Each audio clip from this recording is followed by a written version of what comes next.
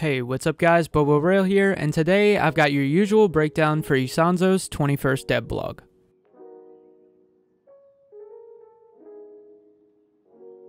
So the focus of today's dev blog was toxic gas, and how chemical weapons, which were absolutely devastating on the Italian front, are going to be used in-game and the varying effects it will have depending on the gas type and equipment. But first, before we get into the poison gas, we should talk a little bit about smoke screens. The first option for the chemical weapons category is the basic smoke barrage.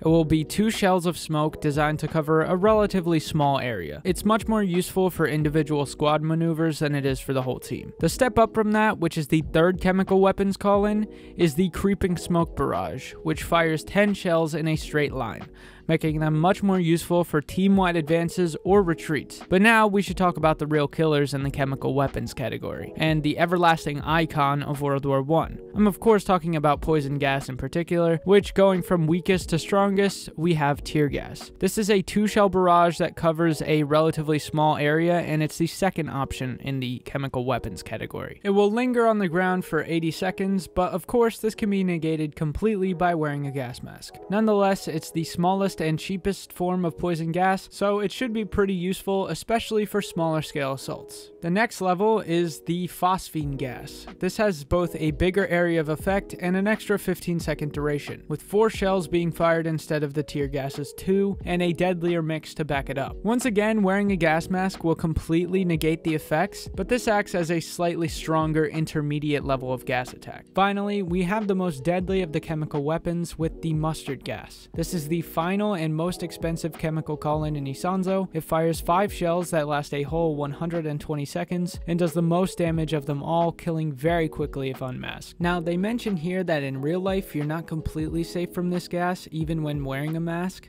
but it doesn't specify if you'll slowly take damage while in it or if it has any other debuffs. Another major question this dev blog arose was if there will be a quality difference in protection depending on the type of gas mask, because not all of them are created equal, and we get into the more rudimentary version here. So I'm not sure if there's a difference in efficiency between this and the other factory made one. Either way, all of these should support the gameplay flow of Isonzo substantially, so we'll just have to stay tuned as we enter the summer, anxiously awaiting a release date. Anyways, that's all I've got for you guys today. This has been Bobo Rail from the Cristiferbeast channel, and I'll catch you all in the next one you